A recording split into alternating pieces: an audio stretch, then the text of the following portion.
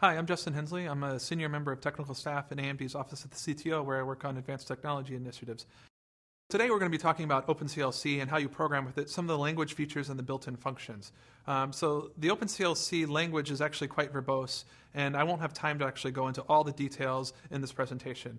Uh, I highly recommend you to go to the Khronos website and download the spec if you're interested in knowing all the details of the OpenCL C language. So the OpenCL C language is based off of ISO C99, but there are a couple of restrictions from C99. So the, the, the, major restrictions are there are no standard C99 headers, there are no function pointers, no recursion, no variable length arrays, and no bit fields. There are actually some additions to OpenCL C though.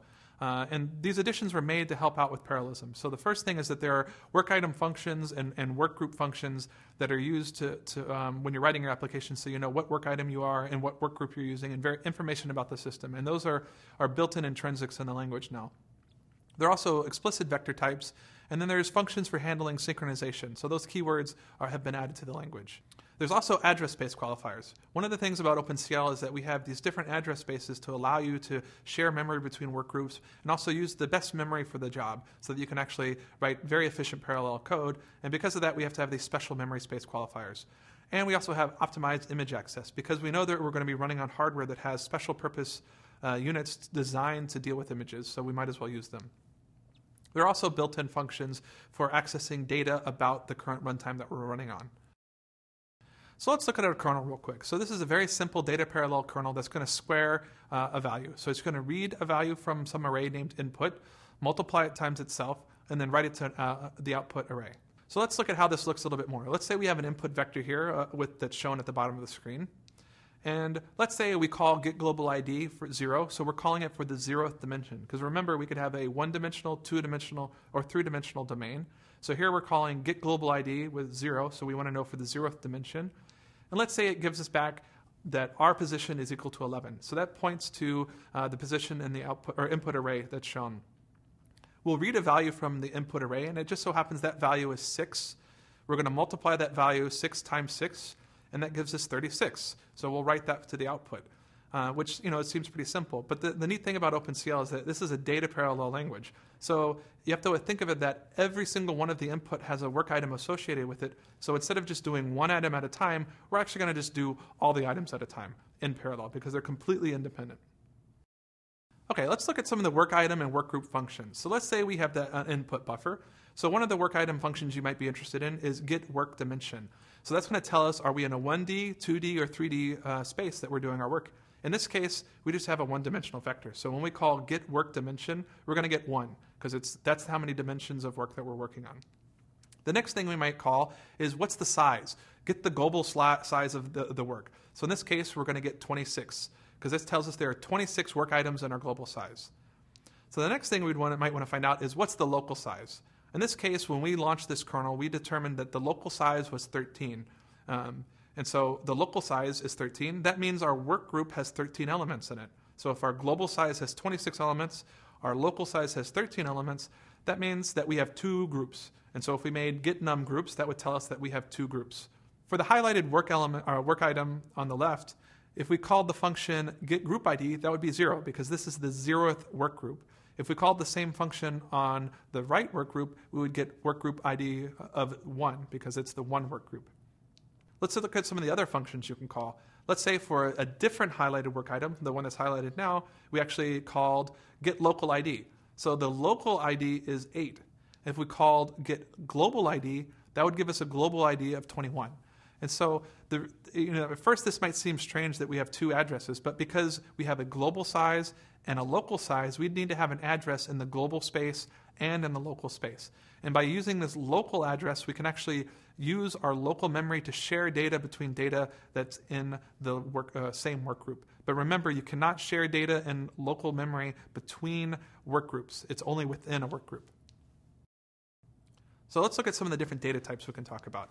So there are scalar data types, and those have you know the very obvious types that you would think of, such as int, short, long, ulong, uh, other types. There's also a half type, but that's really for storage and not necessarily for processing. There are also the image types. So you have image 2D, image 3D, and sampler. So those are uh, the actual data for storing uh, data into an image and also sampling it from an image. And then there are also vector types. So let's look at some of these vector types in more detail. So they, they're designed to be portable, so no matter what runtime you're running on, you know that if you use a certain vector type, it'll be portable across these different runtimes. And OpenCL requires that the vector types have certain characteristics. So the vector lengths that you can have are 2, 4, 8, and 16. One of the important things about the data types is they're endian safe, so that you know if you write code using these vectors, that if you go between the GPU, the CPU, or some DSP, you know that they're endian safe and that the same code will work and you don't have to worry about doing endian conversions. And they are aligned at vector length, so you know that the alignment and the endian of these different vector types.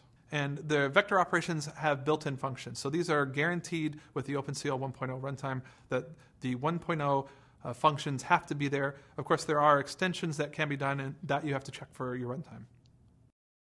So let's look at some of these vector operations. Let's say we want to create a vector literal. So we basically want to create a vector from uh, a literal type. So in this case, we're going to have two vectors, one named vi0 and the other one vi1. In the first case, we're creating it from a single literal negative 7. In the second case, we're actually giving it explicit components for uh, each of the four components of the vector type. So in memory, we would have negative 7, negative 7, negative 7, negative 7. So if we look at the next one, we're actually creating this explicitly from four different components because this is a four component vector. So in this case, we have 0, 1, 2, and 3. So we have two different vectors here, each storing two different uh, sets of data. So let's look at some of the things you can do with vectors. So one of the nice things about vectors is that you can select their components. And so um, OpenCL has a very verbose set of vector component selects. I'm only going to go over a couple of them. And again, I would highly recommend going to uh, the spec if you want to see some of the uh, more advanced ones. So in this case, what we're going to do is we're going to say one vector's low component will be equal to another vector's high component. And so we do that by doing dot low. So we select, we say the dot low component of vi0 will be equal to the high component of vi1. And so at the end of that, we're going to have the vector with the shown uh, values in it. You can also use some more advanced uh, vector component selects, such as odd. And what that'll do is that'll give us all the odd components of the vector. And there's also an equivalent even, which will give you all the even components of a vector. There is also a select routine, so you can say select 0, 1, which will give you the 0 and 1 uh, components of a vector. Again, I highly recommend that you go to the spec to see all the different variations on the different vector component selects that you can do. So there's also vector mathematical operations. So in this case, we're going to demonstrate how you can do the plus equals operator. So in this case, we have vi0 plus equals vi1. So in this case, we're going to take 2, 3, negative 7, negative 7, which is our first vector type, and add to it 0, 1, 2, 3, our second vector. So at the end, what we're going to be storing in the resultant vi0 will be 2, 4, negative 5, and 4. So we've just taken vi0, added to it vi1, and stored it back into vi0. So that's one example of a mathematical operation. Another one is that we could do the absolute value, and then the resultant vector would be 2, 4, 5, 4. Uh, again, there's a, a, very verbose set of arithmetic operations that you can do, and I won't go through them here, and I recommend that you go to the spec to see all of them. So now there are actually several different address spaces in OpenCL, and it's quite important what the address space is and which address space you're using. So kernel pointer arguments must use global, local, or constant. They cannot use private uh, pointers because that private pointer goes to every work item. And as you know, private memory is dedicated to a single work item, so it doesn't make sense to pass in a private address as an, ad, as an argument to a kernel. So if you look, the second uh, example here under uh, the first bullet point, where we say uh, kernel void some private int star, that's illegal because you cannot pass a private pointer into a kernel. So one kind of gotcha that you're going to run into here is that the default address space for arguments and local variables is private. So whenever you pass in an argument and you don't specify something, it'll default to private. So this is a common mistake that everyone makes and that they forget to specify the specific memory space that they want for an argument. That argument defaults to private and then bad things happen just because that is not allowed. Note that image 2D and image 3D are always in global address space. So you also need to specify with the image types, are they read-only or write-only? So in that kernel, you know, are you reading it or are you writing it? Because you can't do both at the same time with the image types. Program uh, global variables must be in the constant address space. So let's say you have a global variable that's being used by multiple kernels. That constant must be a global. So you cannot have a global value that is not constant. Also, casting between different address spaces is undefined. So if I have a pointer into global memory, I cannot directly cast it into private memory because those are different memory spaces and actually might be stored in physically different memories. And so we're not allowed to actually do that casting operation because it might not be possible. If you want to move data from global memory into private or global memory into local, you have to explicitly copy it. So you cannot cast those pointers from one memory space to another. So let's talk about some of the conversion routines. So scalar and pointer conversions follow C99 rules. There are no implicit conversions for vector types, though. So let's say we have int4 vec that we want to implicitly cast to a float4 vector. That is illegal and not allowed because that is an implicit conversion. There are no casts for vector types. So there are different semantics for vectors. So you can't say float4 uh, from an int4. That's illegal cast as well. And the reason is, is that when you're doing a cast of a float 4 to an int 4 and vice versa, there are certain operations that you might want defined that will determine how that mathematical casting is actually done. So casts have other problems. Let's say that we have um, x plus 0.5, and then we want to cast it to an int. So we have float x plus 0.5, and then we want to cast it to an int. So the problem is, is that if you're at very, very, very small values um, of x at the very close to the uh, running out of precision, basically you could end up rounding up instead of down when you're supposed to. So uh, what's better is to actually have explicit functions that will tell you what kind of rounding is going to be done and let the users explicitly specify what they want to happen uh, when certain operations are done. So uh, and the nice thing is that basically every machine nowadays has hardware to do this, so this is not going to be very painful uh, uh, for you to do, and it's not going to cost very much execution time. So uh, it's very, it's much better to be explicit and say what behavior you want instead of just relying on uh, what the machine's doing without knowing explicitly what you're asking for. So let's give a quick example here. So let's say we want to do an explicit conversion uh, from one type to another. So it uses this uh, basic format where we have convert underscore destination type, and then we tell it the saturation mode and the rounding mode. So this works for scalar types and vector types. And the nice thing is that there's no ambiguity with, with this. So let's say we have uh, a uchar4 and we want to convert it to a float4 or vice versa. So basically, we have this float 4, and depending on what saturation type, when we convert it to the uchar 4 that named C4, we'll know explicitly what's going on. So one example is that we can say saturate to zero, so that when the value is negative, it'll just stop at zero and won't go negative. Another uh, possibility is that round down to the nearest even. Another one is uh, round to nearest value, and we can also saturate to 255. So in this case, even though the value stored in the floating point value is much larger uh, than could be stored in a char, we know that it'll just saturate at 255 instead of wrapping around because that behavior uh, would not be something you want because it could give you undefined results. So another type is we can reinterpret data as one, from one type to another type, and this is used by the as underscore type. So this lets you reinterpret the bits from one type to another type. Uh, the types must be of a certain of the same size. But the nice thing is that this way you can take uh, a, a, bit pattern that's stored in an integer and actually uses a floating point value, and vice versa. So this is useful when you're doing uh, uh certain operations where you, you, need to use the same bit pattern, but you need to use it uh, for different types of data.